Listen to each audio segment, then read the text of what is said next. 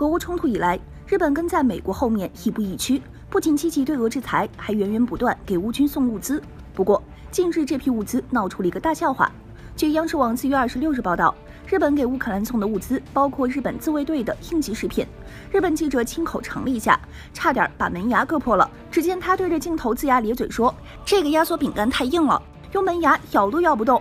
如果不用臼齿使劲咀嚼，根本咽不下去。”四月初。日本自卫队飞机向波兰和罗马尼亚运送用来援助乌克兰的物资，而印度和阿拉伯联合酋长国被其设为了转运点。在此期间，还发生过一点意外：印度方面拒绝为日本这批援乌物资做中转。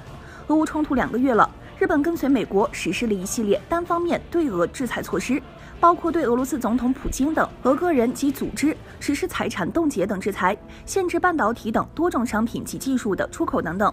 作为反制措施，俄罗斯将日本列入不友好国家及地区名单。此外，日本首相安田文雄三月下旬对印度和柬埔寨访问期间，就曾分别向印度总理莫迪和柬埔寨首相洪森施压，要求两国采取对俄强硬立场，但均遭到拒绝。